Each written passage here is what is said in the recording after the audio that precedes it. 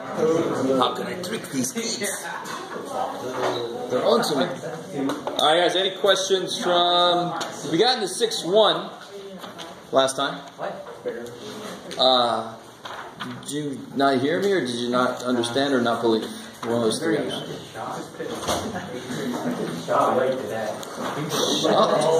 I am shocked, Jeff. I'm shocked and appalled. You're like moving so fast. Nope. Yeah, don't, don't be careful. You bring up rates of change of with a calc teacher. Uh, I found 327. I should remember how to uh, integrate that. uh, Whatever it's called. Number twenty-seven. Yeah. Okay, so and this is before we know u sub. So I mean, uh, I know it's got u's in it, but it doesn't mean it's u u plus two, u minus three, du. And it's not from to anything, right? No, zero to one.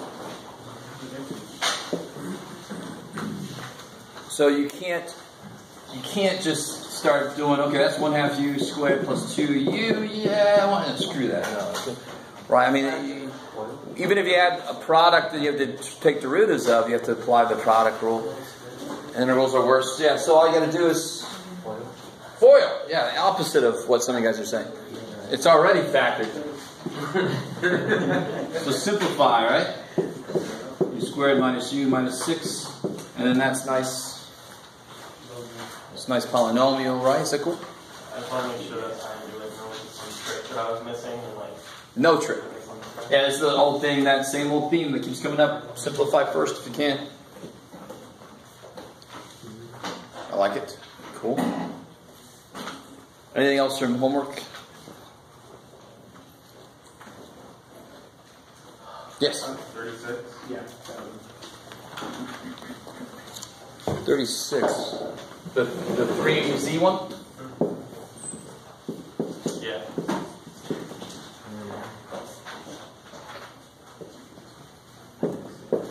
Uh, all right. Uh, so it's all about the truly functional part. There's a there's a constant part of this, and, and then there's a constant part to this. So I want to start breaking this thing up.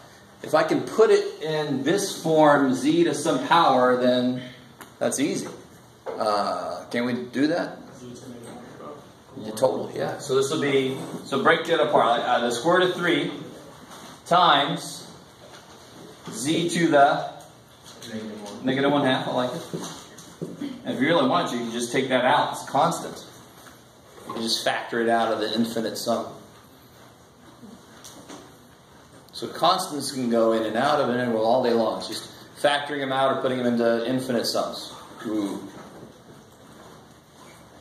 The functional piece, now, now this, I have no qualm saying this is easy. Right? How do I integrate? So it's rad 3 times, how do I integrate this? 2z. Good. It'll be z to the 1 half times 2. Cool. Is that all right? You guys doing enough of these to get that idea? That's how you always do it. That's why I do the power first and then just reciprocate out front what that new power is. From 18. 1 to 18. I like it. Cool. Then you do that.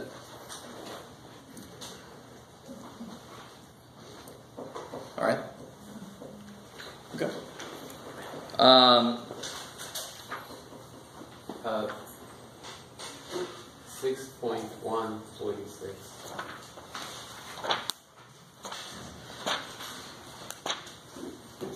What number? 46. I like it. So this is uh, 6146, and it gives you the birth rate. Birth rate of some population 2200 e to the point zero zero two four t per year, and the death rate is where do you go? 1416 e to the point 0, 0? No, 0. Just one 0. Oh, it's not two zeros up here, it's just one.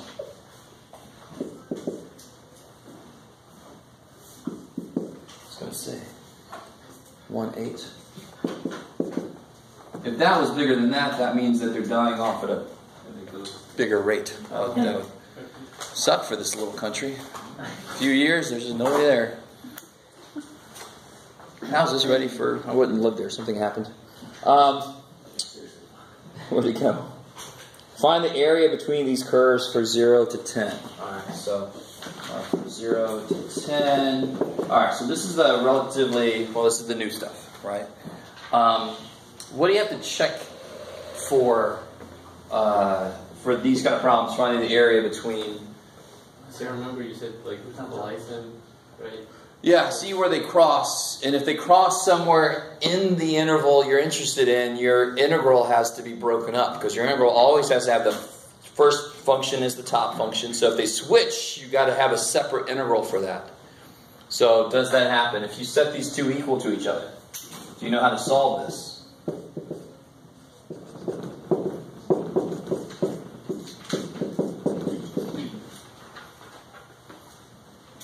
Will they ever equal each other is a good other question. No, why not? His t is the same, so they're different values. So uh, this start at, at t zero. Where's this start? Twenty two hundred. At t zero, this is at. 14 This is growing faster than this one. So this starts above that one, and it's growing faster than this one. This will never catch that. Yeah. So they're not going to cross. So thank God I don't have to try to solve this. Right. So you, at the very least, you could put it in a calculator and see. But um, on a test or something, I'm going to give you something you can actually solve, and you know I'm going to have a place, a place where they cross in the interval, just because I'm evil. Um, so yeah, so obviously, which one's on top? Yeah, b. Right. So I do integral zero to ten, uh, twenty two hundred. So uh, so where where do we have some trouble? Minus. What is this a rough estimate of? This is my birth rate, this is my death rate. So if I take the difference between them and integrate over 10 years, Your population growth? yeah, I'm going to get the pure population growth, right? And now, of course, you could include immigration out, immigration in, those are different rates, all this kind of stuff. Yeah. Sure. And these rates themselves are probably not constant over those 10 years, right? So that's, who knows? Anyway, all that's too much. Uh, do we have trouble with integrating this? Uh, uh, the 2200 can come out. I can split these intervals up if I wanted to. Is that cool? Because it's minus, so I could put it out. I can split these intervals up. Did not like terms, so I'm too excited about that. How do I integrate? What's what's this integral? e to the at dt. What's that interval going to be? It's got to be e to the at, and that can't change. Its derivative is itself, but I have to account for some constant, right? Yeah, plus c.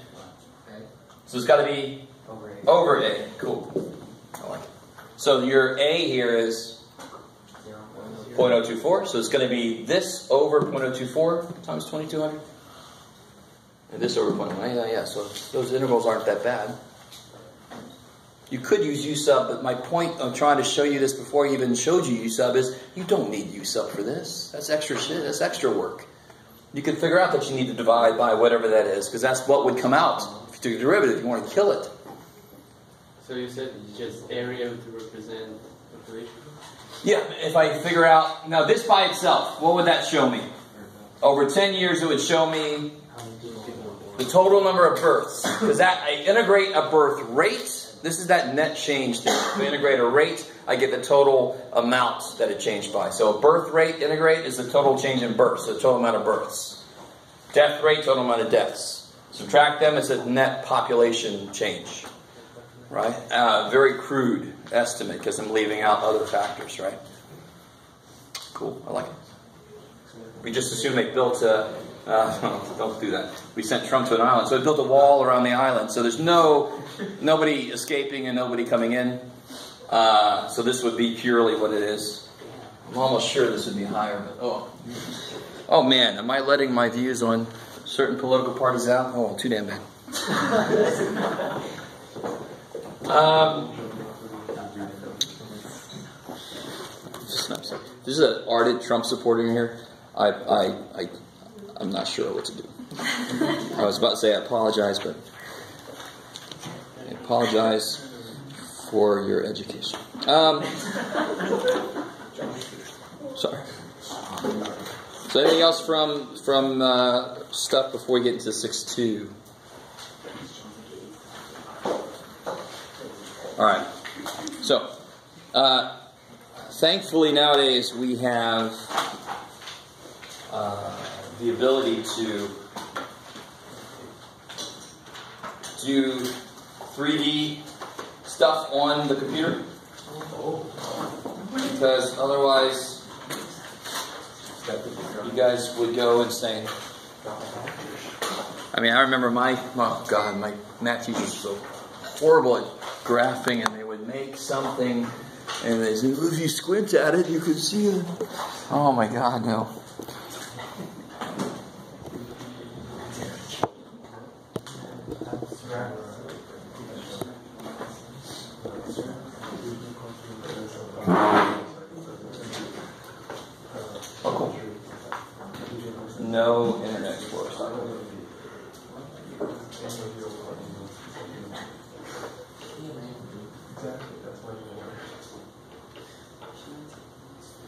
So, um, oh, good. That's where I want. I should have turned this. So the idea here is, and this is kind of a limited technique, but it's a kind of a first step approximation of some shapes. So these the shapes that this type of the next two sections are going to work with are any shapes that can be uh, rotated. It's got rotational symmetry. What do I mean by that? If I cut it anywhere and turn it and cut it, those cross sections will be the same. So it's uh, rotationally symmetric. Does that make sense? So, so if I have some function, let's say the top part of a circle or something. Obviously, if I rotate this, it's not quite the whole circle, though, is it? All right. But if I rotate this around, I get sort of a football, don't I? So can you imagine rotating? In fact, here's something even better than imagining. I told you, I, a student of mine from a while back sent me this. So if I rotate it around the axis, yeah, and then you can put that up. It's a little decoration. Um, so I told him about that in class. I said back when I was a little kid, we had these decorations, and she like sent them to me, a couple of these. oh, that's so awesome. So now I use these as a visual. So I'm rotating around. In this case, I'm talking about rotating around the x-axis, right? So if I have a more general kind of shape and I rotate it around the x-axis, maybe it would come out to be like this here. Cool. All right, stay with me.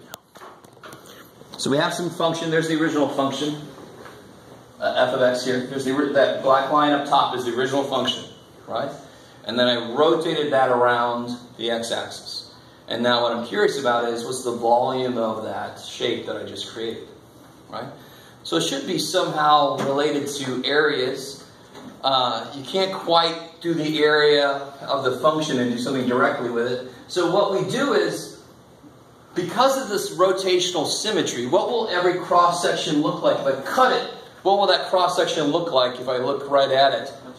It's got to be exactly circular because I did rotate. So any point on this function, that point, uh, in fact, uh, let me click this button and it will do. Can I zoom in on this? No, as I zoom in, it stays the same. It's, it's just mocking me. All right. So there's a cross section. Circular auto run. No, I don't want you to auto. And then here's the radius. How big will the radius of that circle be before I click on it? From the top of the to... What's the radius? What's the value of the radius at some point x between A and B? f of x. It's, that's how far out it's got to go. It's got to go out until it hits the original function, right? That's the radius. So any position, so that's going to be the radius. Click the radius button. And the area, I like it just shades in the circle. Ooh, that's neat. So if the radius is f of x, the, the area of any circle, any cross section will be pi times f of x squared. Ooh, right? Whoever the hell the radius is, the area of the circle is pi r squared. So that's not a major. That's a ooh, wow, it's amazing. So what I want to do, so that's a single circle's area as a cross section of that whole thing. So how do I get the volume then? What's the name of your circles? I add up all the circles. I integrate the area from A to B. So I integrate, let me see if they actually get it. I think they do. So I integrate, so get the volume, look at that volume, little box, bam. I integrate from A to B, the areas, dx. It's almost too nice to believe if you let it be. So, so realize, again, like I said earlier, this only works if my shape has actually got that rotational symmetry to it, right? The minute it doesn't have that, this doesn't quite work, but it's a good first approximation if it's close. Yeah, how are we doing so far? But does it make physical sense? It almost, if you let it, it almost makes too much sense to believe that it's part of this insane class, right? You just find circle areas and then add up all the circles. And what's, if I have an infinite number of circles, what do I have to use? Integration. Right? That's how I do infinite sums. All right, so let, let's let's try one. Uh, let's see. Because they don't give me a function there, do they? They don't tell me what it is. Oh, dorks. All right. So let's try. Yeah, let's do this. Let's try uh, f of x equal to um, what you got, Jeff? I don't know. Let's say 4 minus uh, x minus 2 squared. Doesn't that look neat? So why did I do that? Well, so me graph it. And this is going to be, they got to tell me the boundaries of this. Uh, so we're going to start nice. We're going to start, it's, it's actually hitting the x-axis. There's going to be some situations where it won't, and there'll be a hollow part in the middle. If, if I didn't let that thing actually, the area hit the x-axis, there would have been a hollow part in the middle. I don't know if you guys quite see what I'm saying. Okay. So uh, at 2, this thing has a value of what? 4. I like it. And that happens to be the maximum. At 0, what is this? Zero. 0. So I kind of created a function that was an upside down parabola that had nice x-intercepts, right? Uh, and of course at 4, since it's symmetric, it's got to be 0 again. Okay, so that's the region that I'm talking about is the region bounded by this parabola in the first quadrant. And that's a horrible thing, but I'll, I'll survive. Okay, so now I'm going to rotate it. Now, now notice, when I rotate it around the x-axis, how do I locate a disk? We call this the disk method, so we call these disks. How do I locate a disk? That's a weird question, and you're like, you plan. No. What variable do I use to locate a disk? X, the X. I could have a function that's like this, and I could rotate it around the y-axis, and then how would I locate a disk on the y, using y? It would be dy then. This integral would be integral dy. So there's the one really nice thing about disk method. And, and the other method we're going to talk about is the opposite, so it's kind of nice. Uh, disk method says if you are rotating around the x-axis, or something parallel to the x-axis, it'll be dx. Around the y-axis, it'll be dy. And we're just getting into this, so but doesn't it? That's because how do I locate this? Where do they sit? They sit on the x-axis if I'm rotating around the x-axis, or vice versa, right? So that's going to help me set up my integral in the first place. Obviously, if you set your integral up wrong, you're dead before you even start integrating, right? Okay, okay. So that's number one. Um, number two. Now, so you don't have to draw 3D things. Thank God. But if I did rotate this around this axis, I'm not even to try. Here would be the mirror image, right? Just roughly. Very roughly. Oh well. Other good, Jeff. Sorry. Right? Here's my egg. How's that look? Oh, for me, that's awesome. Um, so here would be an example of, so here's X, here's an example of a disk. Let's see if I can make this roughly decent. There, so that tells me where that should be. All right, that's a little bit better. So there's a disk there, right? Is that cool? So you don't have to graph 3D, thank God. Unless you can, you want to show off, do it. Um, by disk sucks. Can you, can you, you, you with me on this a little bit? All right. Uh, so what is my radius going to be? What's the radius here? Yeah, the radius is f of x. I like it. Uh, and you can imagine if I didn't let this go, if I if I would have said no, you can't, you have to stop at one, then the radius. Uh, if I was rotating around this, the radius would have been f of x minus one, for example. Uh, so that's going to be in our future. The, if the axis of rotation moves, my radius has to change with it. The radius is how far away I am from the middle, from where I'm rotating it around. So at the beginning, we're going to rotate everything around the x or the y axis, make it easy. And then we're going to incorporate, well, what if I'm rotating around some other axis, some off axis thing? Oh shit. We're not going to rotate things diagonally. Don't worry. Uh, all right. And that's really all I need. Uh, so how do I set up this integral? It'll be the integral from what to what? The x values have to go from 0 to 4. 0 to 4. I, Pi times 4 minus x minus 2 squared. Squared. I like it. dx. All right, now this you can obviously simplify. Cool. Um, take a two. Take a pi out. I love it. Kick ass. So you can always just put the pi out front if you want to. That's fine.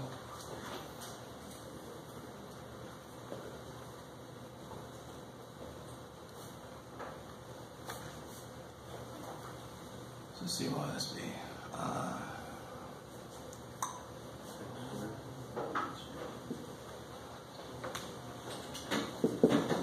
what will this be? And then uh, I think it's just minus 4x, is that right? That can't be right. Yeah, no, plus four x, because the two negatives. Oh yeah, there, thank you. So 4x minus x squared, cool. So this will be 0 to 4. Bring a pi out. 4x minus x squared squared dx.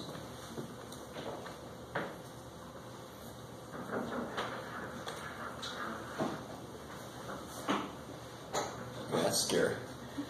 That's some Silent Hill stuff, man. Over there. Don't we go over there? Bring.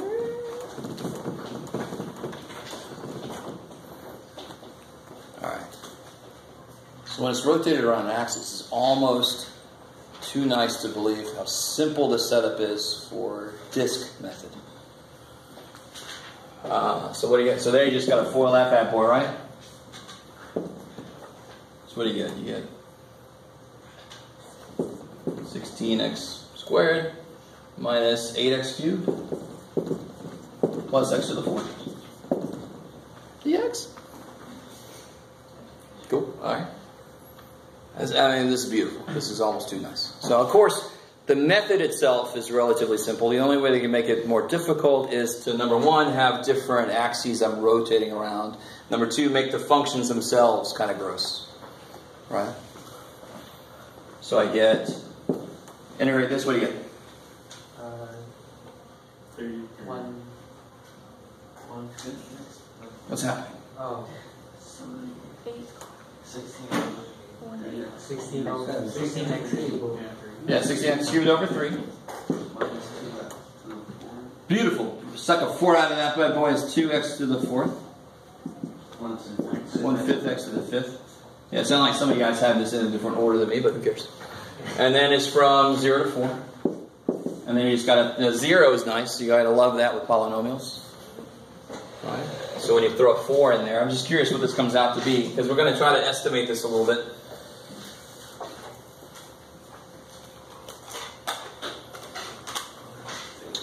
Uh, let's see. That's just gross. Should we throw the pi at the end? Yeah, that's what I would do. I mean, it, it doesn't matter. If you just throw it all in the calculator, it doesn't really matter. Somebody's working on this, right? Because I, I'm not. Maybe I should be. Oh, Jeff, you're so lazy. Sorry. Got a room full of workers.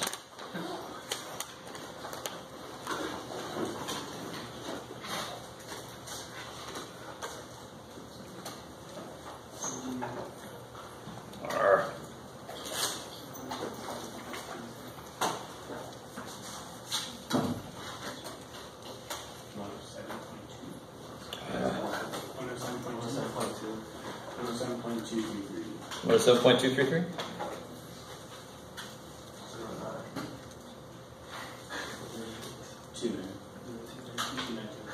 Yeah, so with pi in there, this whole thing comes out to 107.233, whatever. Okay, cool. I like it. So, real quick, uh, this isn't a circle, obviously, right? Because here, like, the radius would be 4, and here the radius would be 2. You kind of with me? You kind of with me? No? Do you understand what I'm saying? This is not circular because this is parabolic, so it's not circular. And I can see that because in this direction it would be a radius of 4. If I thought this was part of a circle, I immediately see it ain't. That's 4, a radius of 4, that's a radius of 2. Is that the area? Is that the area or the, what is the one oh seven? What does it mean? Oh, oh, so that's the volume of this thing. Okay, Yeah, yeah, yeah. Or? Okay, okay, I like it. So the one weird thing about this process is I don't ever have to graph the shape that I'm actually working with. But can you guys imagine the shape that I'm working with? It's not just a foot. It's not just this. I just graphed the mirror image of this. I'm rotating this thing around. But right now, I'm just talking about to estimate if that's the right answer. I'm going to treat this like it's a sphere. So I'm just trying to figure out what the what, a good estimate of the radius would be. I don't I don't know if you guys are with me at all. This is not spherical. This is not some geometric shape that we've ever studied. You can't do this in geometry. You need calculus to be able to figure out this volume. There's no set formula for this. So that's the volume? That is the volume that you would get if you rotated this thing all the way around. If you rotate this thing around, you end up with, you know, shape like that, right? Just like uh, you can imagine, it would look Like your decoration? Like your decoration. sort of. My decoration is more like a pure sphere, but Yeah, yeah, yeah. yeah, yeah, you get the idea, Yeah. right? If I would, have, if this was pushed up a little bit, it would have been this sphere that kind of comes at you out the sides. This, the middle part would have been wider. I don't know. You guys get me here? I mean, so I'm rotating the shape. So to get a feel for if that's the right answer, real quick, if that's like th- this would be a radius of four if I thought it was, a circle, but that's a radius of two. So let's use, let's use three. What would the volume of a sphere with radius three be? Four thirds pi three cubed. And what what's that? That would be four thirds pi three cubed would be four times pi three squared, thirty six pi, which is 108. Is that right? I did that really quick, but like 111 point something, right? What'd you get? You say four thirds pi cube? So it's, it would be four thirds pi times the radius Oh. cubed, and it said let's use three as an as a as an average of two and four, right? Am I currently right now? I am not doing something that you have to be able to do for this class, and I don't care. I'm showing you going beyond. There's no way to check your answer. You could throw this in the calculator and still not have it right because maybe you didn't set this up correctly. So to get a feel for if this feels right, I'm going to try to push this into a shape that I know. That's four, that's two, and then, and then it's a three, a sphere of radius three. That should be close, maybe. And sure enough, that comes out to be, yeah, yeah, that's good. If I would have gotten 28, I'm wrong. If I would have gotten 300, I- uh, I'm wrong. But I'm okay with being off from that a bit because I know that's not perfectly what I just did, but it should be close. Okay, okay, okay, I like it. So there's several reasons I want to do that. One of them was to make sure you guys understood. I am talking about the 3D shape you end up with. What kicks ass about this process, and then the next section we're going to learn, is I only have to analyze the 2D shape. What did I integrate? I integrated the square of this function. Does that have any 3D aspect to it? No. So what's difficult as a student, especially if you're going to go all the way to Calc 3, is when you set up an integral, you can't tell that the integral is identifying a 3D shape. You don't know what this integral represents. because the math that I used to get here doesn't look 3D somehow, right? I don't know if you guys kind of, it's kind of cool that I just, I got this 2D shape, 2D looking function that is actually representing a three dimensional volume. Just nice. Why does that work? We know it works. Each of these are areas. And so when I integrate, I'm going to end up with a volume. So I know it works. Okay, cool, maybe, maybe, maybe. They take pi out, you put it in front of the roll with 3D, bro. No, totally not. In fact, that's what I did there. Yeah, but if you left it like on the right side. If you left it in, you just have to make sure it goes everywhere. Yeah, it doesn't matter. Yeah, it doesn't matter. Uh, constants you can take out, put in. Yeah. All right. So let's try. I have a question. Sure. So, uh, like in a later quiz, are you going to ask us about like difference between like volume, with the radius that you give us, and volumes that we approximate? No, no, no. I really want to make sure you understand. I'm never going to make you on your own figure out how to do what I just did because it's it's a little weird. But I like to tell you what I do. I mean, just to show you, because I've been through a lot of math, so I know some more of the flexibility math has. So when I'm trying to estimate my answer, if you put this in your calculator, it's going to tell you this. But maybe I screwed this up. So I have to go back to the original to get an estimate, and there's no geometry for this shape. There's none. We created our own geometry right now with calculus, right? So that was that's a method you could use if you ever ever ever wanted to, and if you never do, all right, whatever. I let you know it's out there. All right, maybe maybe. So what's what do you have to?